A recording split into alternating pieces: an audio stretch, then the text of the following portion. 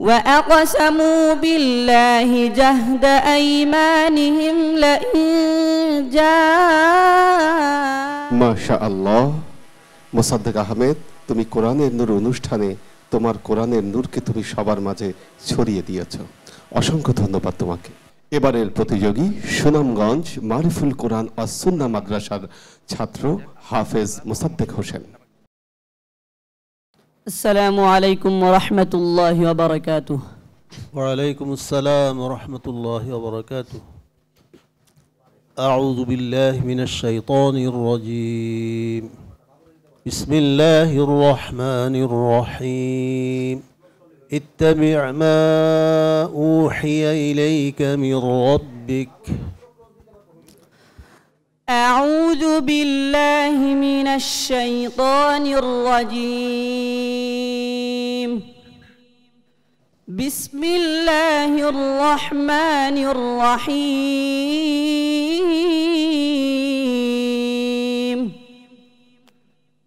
اتبع ما أوحي إليك من ربك. لا إله إلا هو. وأعرض عن المشركين. ولو شاء الله ما أشركوا وما جعلناك عليهم حفيظا. وما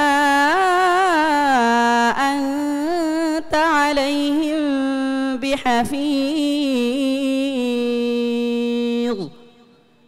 ولا تسبوا الذين يدعون من دون الله فيسبوا الله عدوا بغير علم.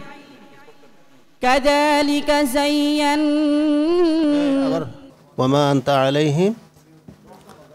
وما أنت عليهم بوكيل ولا تسبوا الذين يدعون من دون الله فيسبوا الله عدوا بغير علم كذلك زينا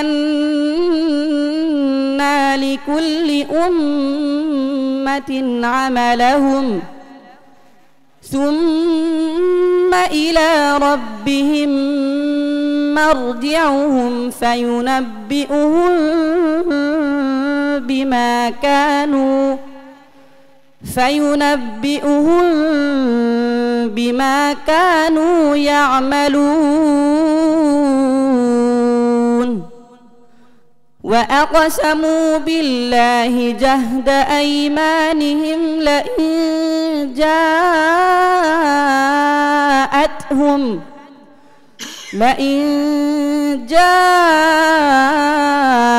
جاءتهم آية ليؤمنن بها قل إنما الآيات عند الله وما يشعركم أنها إذا جاءت لا يؤمنون ونقلب أفئدتهم وأبصارهم كما لم يؤمنوا به أول مرة كما لم يؤمنوا به أول مرة ونذرهم في طغيانهم يعمهون حسبك صدق الله مولانا العظيم মাশা আল্লাহ মোসাদ্দেক আহমেদ তুমি কোরআনের নূর অনুষ্ঠানে তোমার কোরআনের নূরকে তুমি সবার মাঝে ছড়িয়ে দিয়েছ। অসংখ্য ধন্যবাদ তোমাকে। রমজানের ইফতারের এই মুহূর্তে কোরআন আমরা যতই শুনি ততই আসলে ভালো লাগে। আমরা জানব আমাদের সম্মানিত বিচারক মণ্ডলীর মন্তব্য। শুরুতে শেখ আব্দুল হক হাফিজাহুল্লাহ। জি আলহামদুলিল্লাহ।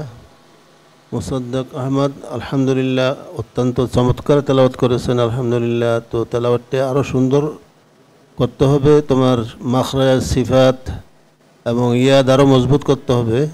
মোশাবার শব্দগুলি যেগুলি আসবে খুব খেয়াল করে পড়বে। কোথায় হাফিজ কোথায় ওয়াকিল এগুলি খেয়াল করে না পড়লে তো মিস্টেক হয়ে যাবে। তুমি অনেক দূরে চলে যেতে হবে হ্যাঁ? ইয়াদ আরও মজবুত করতে হবে ইনশাল্লাহ এগিয়ে যাও।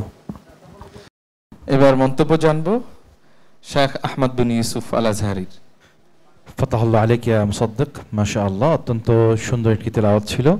তবে আমার কিছু পরামর্শ রয়েছে তোমার জন্য। পিওর চকলেটের সাথে সফট ওয়ান্ডার মাফিন কেক। বাইটে বাইটে ওয়ান্ডার। তুমি যখন ইস্তেআজ এবং বাসমালা পড়বে যখন কফলাগুলো আসবে তখন যেন মাতগুলো একই রকম হয় সমান সমান হয়। আর রাহিম আর রাজিম যেন সমান সমান হয়। কোনটি অতিরিক্ত কোনটি কম এমন যেন না হয়। তো আর রাহিম অতিরিক্ত মাদ হয়েছে। ও আরিয়দ দদের মধ্যে ইস্তেতলা একটি সিফাত রয়েছে। এখানে এসছে, এটি তারকি হবে তো পাতলা হবে। ইদা যে মুনফসিলটি এসছে, এটি মাদ পরিমাণ খুব কম হয়েছে, এটি চার হারাকা অথবা পাঁচ হারাকা পরিমাণ হবে। অনেক দূর এগিয়ে যাও, অনেক দোয়া রইল। মোসাদ্দেক আহমেদ, আশা করি আমাদের বিজ্ঞ বিচারকদের পরামর্শ তোমার ভবিষ্যৎ জীবনের পাথেয় হয়ে থাকবে। তোমাকে অসংখ্য ধন্যবাদ জানাচ্ছি, তুমি আমাদের মঞ্চকে আলোকিত করেছ। والسلام عليكم ورحمة الله وبركاته.